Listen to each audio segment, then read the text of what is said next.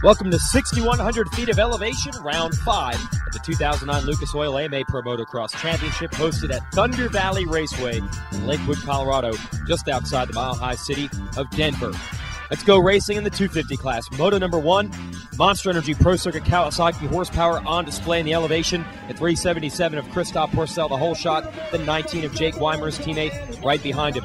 Then you had Broc Tickle in the Star Racing Yamaha and the Geico Power Sports Honda of Blake Wharton in fourth. Those four stayed close and edged themselves away from the rest of the field.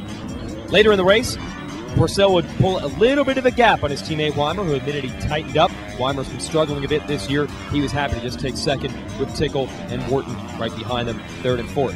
Meanwhile, championship rival to Pourcel, Ryan Dungey, tangled with a few riders in turn one. He was way back. He had to fight his way from outside the top 20 for a hard earned sixth place. Tommy Searle on the factory muscle milk KTM just able to hold him off for fifth. Moto number two, Weimer, another great start. He's out front early. As for Pourcel, the Frenchman got stuck in the gate, bounced around as he hit that thing early in Moto 2. Pourcel was dead last. He passed 23 riders on lap one, got himself into 17th, fought his way through traffic. Weimer challenged by the 151 of Justin Barcia. Weimer crashes. Barcia takes the lead. Weimer gets back up, moves from third to second, then challenges Barcia and takes over the lead. Jake Weimer would take a 2 1 score to his first ever AMA Pro Motocross victory. Congrats to the man out of Idaho. Meanwhile, the championship contenders, Pourcel and Dungey, they would be involved in a tremendous six rider fight. Eventually, Dungey would emerge with a fourth as Searle held him off again. Second goes to Barcia. Brett Metcalf executes a last lap pass on Pourcel to cost the series leader a few points, but either way, with a second place finish, Pourcel extends his points lead over Dungey. Congratulations, also on the podium, Tommy Searle. Let's go to the 450 class. Mike Alessi looking to put in a hero effort and score some points with a broken kneecap. A good start behind the Hondas of Ivan Tedesco and Chris Blose early.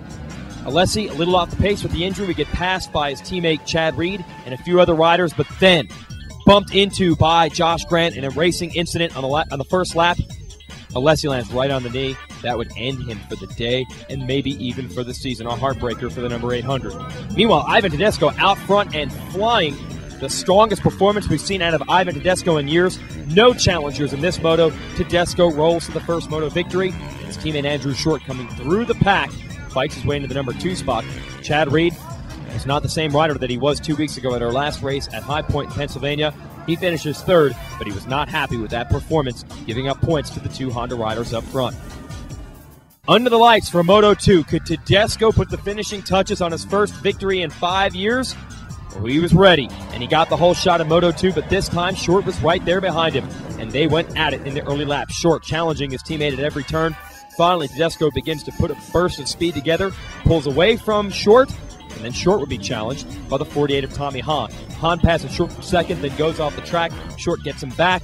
That makes Andrew Short 2 2 on the day for second overall. Hahn on the podium in third, but Ivan Tedesco rolling a 1 1 score. He takes his first ever win in the Premier 450 division and begins to creep into the points race because Chad Reed struggled big time in that one, following up his third in Moto 1 with a seventh in Moto 2. The Honda boys are closing the gap. That's the racing from the Mile High City. That's round five of the Lucas Oil AMA Pro Motocross Championship. I'm Jason Weigandt. We'll catch everyone next week for a July 4th special at Redbud in Buchanan, Michigan, just outside of South Bend, Indiana. See you there.